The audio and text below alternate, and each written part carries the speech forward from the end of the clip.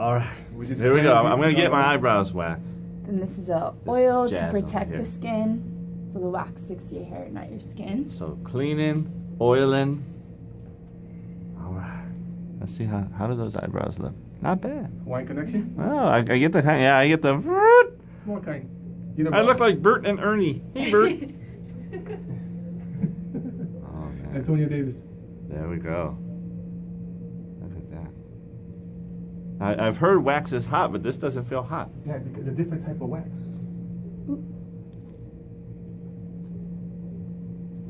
Oh, that's easy. That's easy. That doesn't hurt. Yeah. It's a type of wax. and That's that makes all the difference. That's what. The, so what Dave's saying is, is there's a whole different kind of wax they use here at European Wax Center. It doesn't stick to the skin. It just sticks to the hair.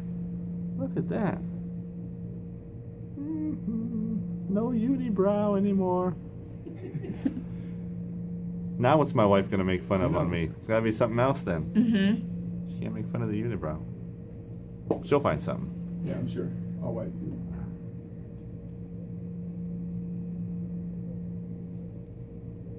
Oh, that's easy then.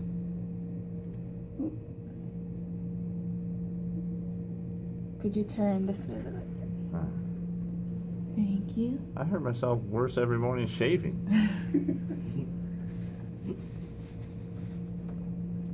wow.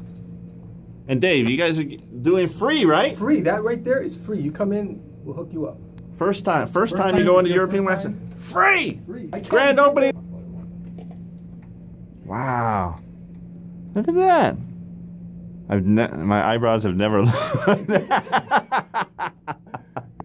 Wow, there you go. European Wax Center, and, and they'll do it for free your first time. Go check them out. Grand opening this weekend. You can look pretty like this. Ooh, nice. And no pain. No pain. Love it. Thanks, you guys. Thank you. Jimmy. Woo! Want to do your nose? Let's do it. Let's do it. Let's do the nose. Let's do the nose.